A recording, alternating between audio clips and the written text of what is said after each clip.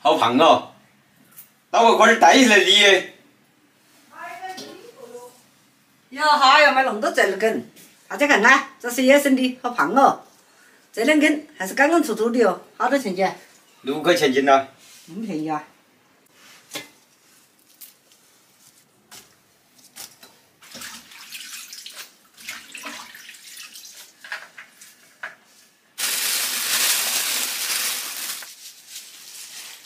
我把油辣子倒进去哈。倒进去了。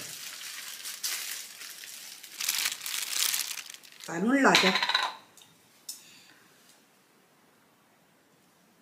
再舀点儿。哇，闻起好香哦！二叉，盘子小点儿看嘛，炒不啥砖了嘛。拌了饭。哎呦，吃折耳根喽！这里跟凉拌猪头肉哈，看着这里个好安逸。野生的就是不一样哈，好红哦。野生的味道好重啊！哎，我试试。猪头肉安逸哦。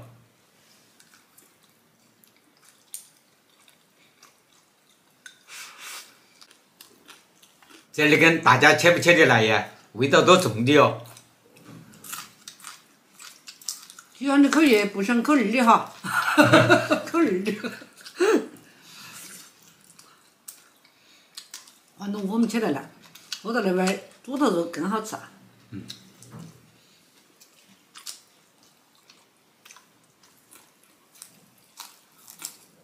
吃饭顺便跟大家聊聊天哈，大家最近有没有关注两会呀？有人大代表提出哈，建议农民工社保按天交了，看哇。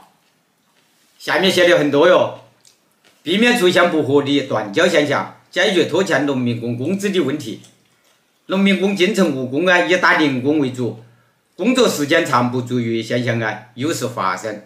而社会保险呢，参保一般以月为单位进行缴纳，工作时间长未满一个月呀，单位无法为入职人员缴纳社保，导致哇工资结算受到影响。看嘛，这个提议多好的。包括前两天哈，《工人日报》也叫川哥给一些建议，我也提到了社保哈，看哇，像我们和身边的工友很多都没得社保哈。就是噻。主要嘛，我觉得还是像你们很多时候哈，到一个工地只住十几天或者一两个月，多少公司哈他就不愿意买。是啊，那不像在公司里面哈，一干就是几个月或者几年。包括像爸爸妈妈，你们感觉就是像打零工、打散工一样。所以说也没得社保。是哇，我们一年要跑几个工地。那也没办法呀。你们在工地上都做了三十多年了哈。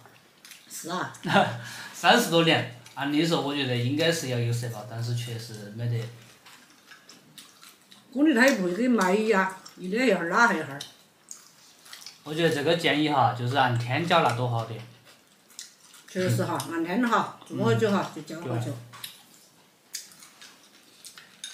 好了，开始。快点吃哦，你还那么多的卤肉，看嘛，烧来了。老师，你们之前说，是不是有啥子社保买断？要不要考虑一下？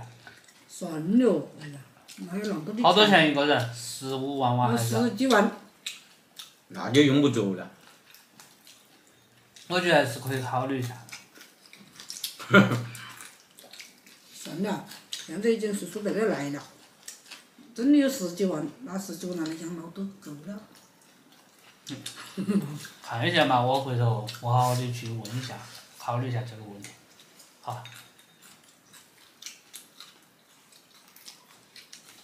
啊，好下饭了，这个这个。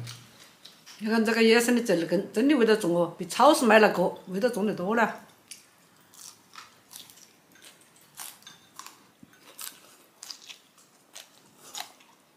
有没得云贵川的朋友啊？像我们这边的人哈，最喜欢吃这个折耳根的了。但是有的人呢，看到都怕。折耳根和烧腊多下饭咯。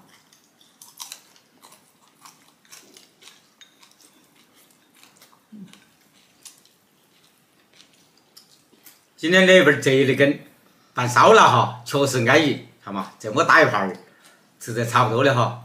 视频就分享在这里，谢谢大家哈，再见，拜拜。慢慢的切。